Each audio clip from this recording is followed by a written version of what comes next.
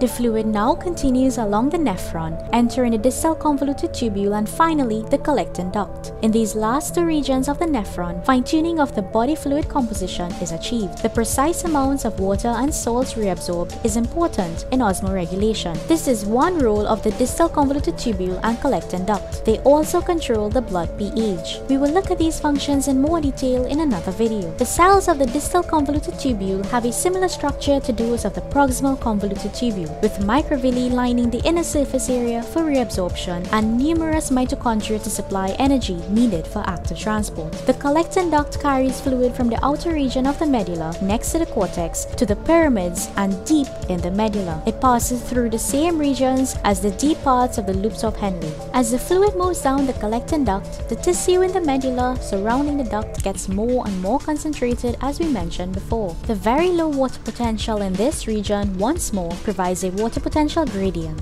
Water therefore leaves the collecting duct by osmosis and moves into the tissues around it. It moves into the blood capillaries, the vasa recta, and is transported away. The actual amount of water lost is controlled by ADH which I'd cover in a future video. Here, we can see a comparison of the composition of plasma and urine. The urine has a higher concentration of all solutes except sodium ions and normally lacks protein and glucose. The loop of Henle helps to conserve water. The lower the water potential it can build up, the greater will be the water potential gradient between the fluid inside the collecting ducts and the tissues outside the duct. This enables more water to be drawn out of the collecting duct, resulting in a smaller volume of more concentrated urine. So folks, that's it for selective reabsorption. If you found this video to be helpful, hit that like button and don't forget to subscribe for lots more tutorials coming your way. Any questions or comments you have, just message me down below and I'll be sure to get back to you. I always love to hear from you all, so thank you guys so so very much for watching and I'll see you next time.